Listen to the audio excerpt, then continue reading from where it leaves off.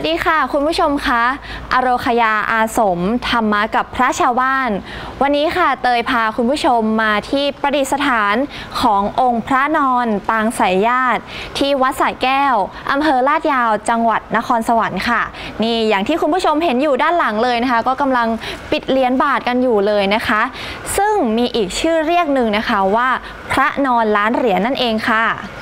พระนอนล้านเหรียญนี้นะคะ ก็เป็นองค์พระนอน ที่พี่น้องในอำเภอลาดยาวจังหวัดนครสวรรค์นะคะ ได้กราบไหว้สักการะบูชา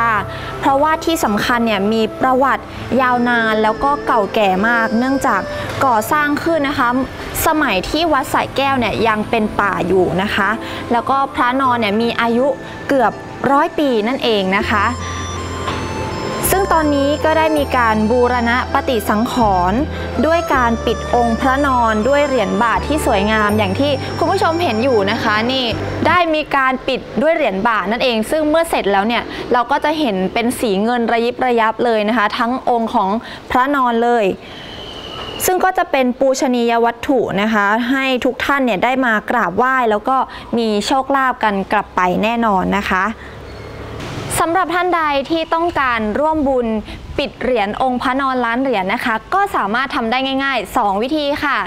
สำหรับวิธีแรกนะคะ ท่านใดที่ต้องการที่จะมาที่วัดสายแก้วก็สามารถนำเหรียญบาทนะคะ มาที่วัดสายแก้วได้เลย วัดสายแก้วตั้งอยู่ที่ตำบลสายแก้วอำเภอลาดยาว จังหวัดนครสวรรค์นะคะ อยู่ตรงข้ามกับโรงเรียนลาดยาว วิทยาคม เมื่อเข้ามาในวัดแล้วเนี่ยองค์พระนอนร้านเหรียญนะคะ ก็จะอยู่ด้านซ้ายมือของทางวัดค่ะ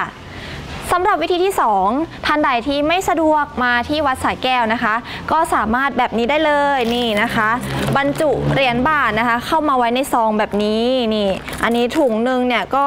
เอ่อ100บาทนะคะ อย่างถุงนี้เนี่ยคือแลกมาเรียบร้อยแล้ว ก็ส่งเหรียญบาทที่อยู่ในถุงแบบนี้ มาให้กับทางบริษัทขนส่งได้เลยนะคะ แล้วก็ส่งมาได้ที่วัดสายแก้วนะคะ อยู่ที่ตำบลสายแก้วอำเภอลาดยาว จังหวัดนครสวรรค์ค่ะเพื่อเป็นการร่วมสร้างนะคะร่วมบุญร่วมสร้างพระนอนล้านเหรียญให้อยู่คู่บ้านคู่เมืองนะคะ พี่น้องจังหวัดนครสวรรค์หนึ่งบาทของท่านนะคะ ก็จะสู่มรดกชุมชนต่อไปค่ะ ท่านใดที่ต้องการติดต่อสอบถามข้อมูลเพิ่มเติมนะคะ ก็สามารถติดต่อได้ที่ 056 271 011 หรือ 081 112 5355 ค่ะสำหรับท่านใดนะคะที่มาด้วยตนเองก็สามารถมาที่วัดแล้วก็นำเหรียญแบบนี้นะคะ เหรียญบาทมามอบให้กับทางเจ้าหน้าที่ เพื่อนำมาติดเหรียญพระนอนบริเวณนี้ได้เลยค่ะ